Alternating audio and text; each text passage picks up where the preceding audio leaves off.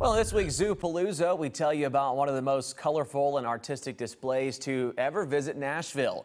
Zoolumination is the country's largest Chinese lantern festival, and our News 2's Davis Nolan tells us all about it.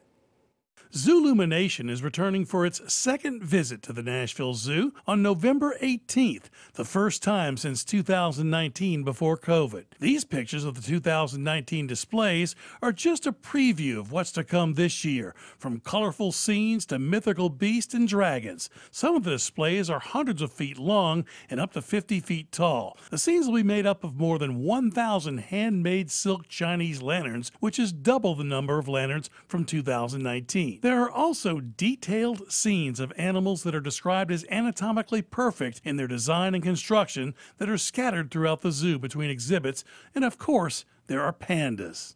Also returning this year will be the North Pole Village, where the kids can meet Santa up until the day before Christmas. And here are some of the new things on the drawing board for this year. These are artist designer renderings of a whale with wings, a scene of a mystical deer in a colorful forest, and a feather and flower over the walkway. And here are some of the pictures taken just this past week during the daytime of some of the attractions that will be on display this year. 35 Chinese artists and designers traveled to Nashville to put this incredible display together. Zoolumination will run from November 18th to February 4th. For a list of times and how to purchase tickets, go to this story on WKRN.com and we'll link you to their website. For this week's Zoopalooza, I'm Davis Nolan, News 2.